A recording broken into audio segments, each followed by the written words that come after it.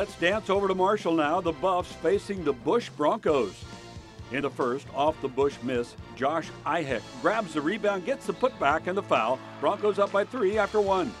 In the second quarter, Marshall out on the fast break. Taj Sherman to Jabari Rice for the bucket.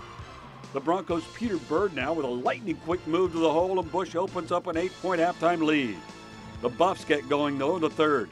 Jeremy Smith knocks down the three and gets fouled. That's four of his game high 24. Then it's Marshall Sherman with the rebound and the quick pass to John Walker inside for two.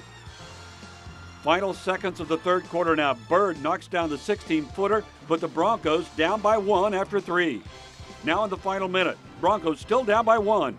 Off the miss from three, Trevor Gulley gets the board. The putback puts Bush up by one.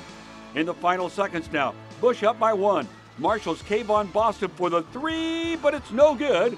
And Bush gets a late free throw to fall. It's 56 54 the final. Bush wins.